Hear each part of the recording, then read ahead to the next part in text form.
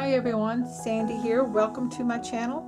This is a showcase walkthrough video of my 5x7 mini album that I designed for Country Craft Creations using Prima's My Sweet paper collection. This is a beautiful vintage looking uh, collection with roses, butterflies, birds, and sewing elements. Uh, it has lots of cut aparts with uh, button cards and that is why I used this vintage button card that I had in my stash on the front cover. It has several buttons, uh, vintage buttons attached on the vintage card. So I really loved how that looks. So I turned it into a tag by adding all these ribbons to the top. And then I put chipboard stickers from the collection, this, these two birds and the heart and then down here, I added a cluster of roses from a stash with some cut apart butterflies and other flowers in there and stick pins that I had. I also added in these metal corners by Graphic 45 and finished them with some black rhinestones instead of brads. And then this is a chipboard piece from the collection and I added some of the matching uh, gemstones that you can order from the collection. So this is a real pretty album, uh, easy to make, I think. I think you'll enjoy it, and I hope that it'll inspire you to create something similar uh, that you might be wanting. This is a nice size. It's a 5 by 7 with a 2.5 inch spine, but after it's wrapped and finished, it has gives you about a 2 and 3 quarters inches of space inside. So it is uh, tied shut with ribbons, but that's not necessary if you don't want that because as you see, it stays closed with the three pages page sets that I have inside. Um, I did add a piece of lace back here behind all these elements to kind of just kind of add more to the vintage look.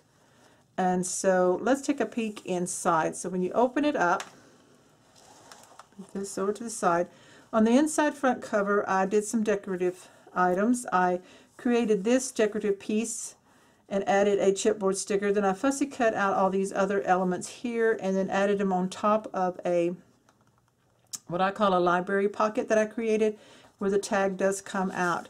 So you have that going on. Here on the first page set, each page is made the same. Each one will have this flip here on the front that's kind of offset so that you can see the pattern paper underneath. On this one I added um, Made two corners with a removable photo mat here. Uh, these are vintage rose buttons and some of the gemstones from the collection package that you can order. Here I created a photo mat using the um, my colors in the cream color and then the gray artisan paper. So this is attached. This is a flap. But then you also have this flap for more photos. But this one actually comes completely out of the page like that. So you can put some on front and back. So you have this you have two of these on each page set in this album. So this just slides back in. And then if you push it up against it will hide or tuck underneath this flap. Uh, so that is in the top loading pocket of the page. Then we also have in each page set one of these tags. This is a tag just made out of pattern paper and the top of the pad, and I'll show you how I did that in that, and I've just tied some lace on that one. So that's a tag for that. And then each page set will also have a side mat that comes out that you can pull with this uh, pull tab. And so that just fits right inside there. So you have one of those in each page set. So then when you flip this one over, we have a triangle pocket here with chipboard stickers. I made a little booklet and a tag. So those just tuck into that little corner spot there. This was the tap uh, flap that is attached. And then of course here is the one that comes completely out. I'm not going to take them all out. They're all made the same. They each have a, a My Colors photo mat inside. So we have the main page and then we have this flap. So then on the second one here, I created a pocket out of the lace, the same lace that I used on the front cover, and then attached this piece on top. So inside the pocket, we have we have two small photo mats with the chipboard stickers that I uh, made them not quite so thick. I took some of the chipboard off the back of them so that they would fit in here. And this is a little booklet made out of some of the cut-aparts, which are the button cards. And then this is just a, can use as a mat, one of the button cards. So that just tucks in there. So this is the flap that's attached with the photo mat. And then we have the removable mats here on this side. And then we have a tag here at the top.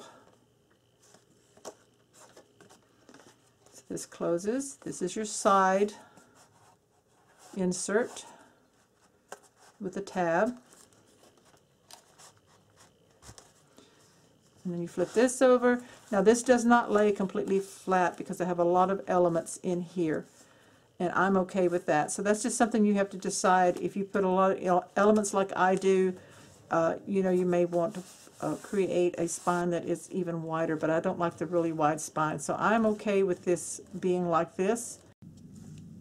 On the back of this ne next page set, I created a tuck spot here for these two photo mats that I created. And then I placed a butterfly here, uh, a raised up butterfly as a placeholder to keep them in place here on this flap. So this is a flap that flips up. And it has the photo mat here, and then we have the insert at the top, right here, flaps. Third page has the angle pocket again, made out of the pattern paper. And inside I have a tag and a booklet made out of the button card cut aparts. And then this one flips up. Got your photo mat. And then of course you have your mat that comes completely out as well as this tag. Put this one back in and then flip this over. On the back page we have a little mini envelope and I added in, I trimmed down and added in two of the buttons on the cards, on the cut aparts. Those just tuck right back in there. And then behind that I have several of the little cut aparts with the button cards. I just love these. They are so pretty.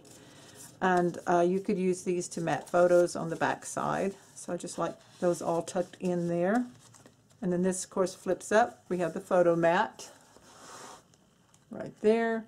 And then we have the insert at the top that comes completely out, like that one. So those are all, you have six of these in this project.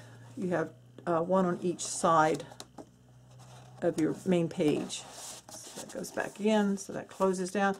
And then the back side, I created a double pocket. So let me take these out so you can see. So in the back top pocket, I created a booklet. So you could add extra photos or journaling. I used a chipboard sticker and lots of scraps of paper to piece that. And then you just slide that in. And then here I have a tag that I made out of just the patterned paper. And then I took another one of my vintage button cards that had buttons already on it. This is Similar to the one on the front, but a little bit different. I love that it says 10 cents guaranteed to wash and dry clean. I added ribbon into the hole. Now, if you don't have vintage buttons like this, and I also covered the back with some pattern paper, um, you could go to a sewing department and purchase cards, um, uh, buttons on cards, and just leave the buttons attached and make sure they're more flat. That works better. Maybe ink up the card some to make it more vintage if you can. Uh, if it doesn't have a hole, most of them I think do, just punch a hole and add your ribbon. And you can get that look for this vintage sewing because this has a lot of sewing elements in it, like this one says sewing illustrated. It has the gold foil thimble and needles. So I just really love adding in that sewing part in with all the other romantic phrases like my sweet and um, the different things in there like that. So uh, this is my album that I designed again for Country Craft Creation using Prima's My Sweet A2 paper collection. Um, there is a tutorial for this on my YouTube channel. and I hope that you will follow along and let me know if you create an album similar to this or use some other paper line that you like. I want to thank you so much for watching and be sure to subscribe to my channel if you haven't already.